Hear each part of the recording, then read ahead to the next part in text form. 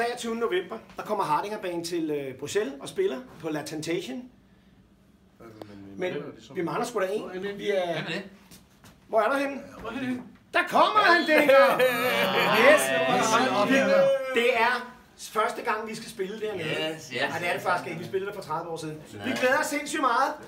La Temptation. Hardinger Band, vi spiller alle de fede Shubidua hits. Vi ses! Hey, hey!